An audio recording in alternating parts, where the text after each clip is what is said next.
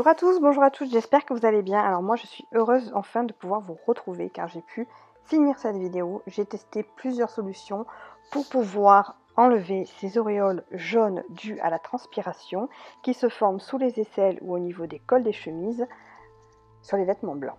Donc la première solution que j'ai à vous proposer pour des traces légères, ça va être le spray Verway. Donc le spray Verway, c'est un spray à base d'aloe vera, de canne à sucre, un ingrédient d'origine naturelle. J'ai fait une vidéo à ce sujet puisque c'est un spray qui est euh, utilisable pour toute la maison, pour le sol, la vaisselle, la lessive, les surfaces. Enfin vraiment c'est un produit exceptionnel. Euh, donc je vous conseille de regarder cette vidéo si ça vous intéresse. Donc vous vaporisez vos traces d'auréoles avec ce spray, vous frottez un petit peu, vous laissez agir 10-15 minutes et vous le passez ensuite en machine à 40 degrés. Et voilà le résultat.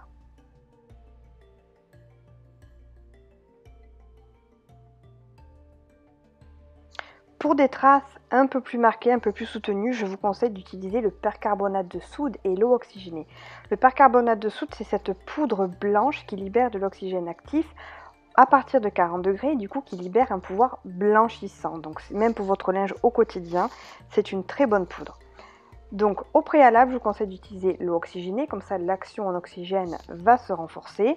Vous euh, imbibez euh, votre tâche avec de l'eau oxygénée, vous la tamponnez, vous les frottez un petit peu, vous laissez agir 10-15 minutes et ensuite vous laissez tremper dans une solution d'eau chaude, d'eau vraiment bien chaude, avec donc une cuillère à soupe de percarbonate de soude. Ensuite, vous n'avez plus qu'à le passer en machine à 40 degrés et vous pouvez rajouter encore une cuillère à soupe de percarbonate de soude.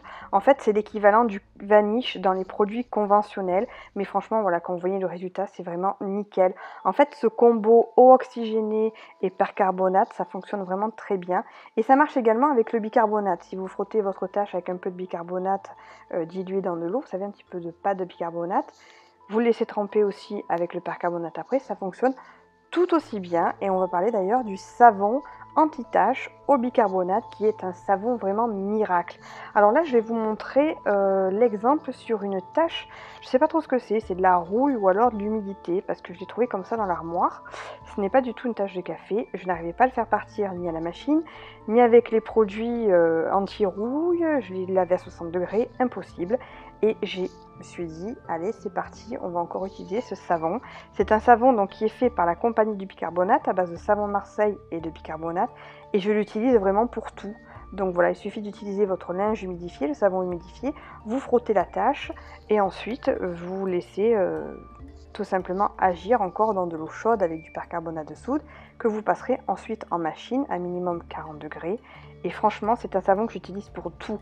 Je l'ai utilisé pour enlever des taches de graisse, pour enlever des taches de colle, pour enlever vraiment des taches que je n'arrivais pas à faire partir sur les canapés, enfin vraiment sur tout, mais vraiment sur tout.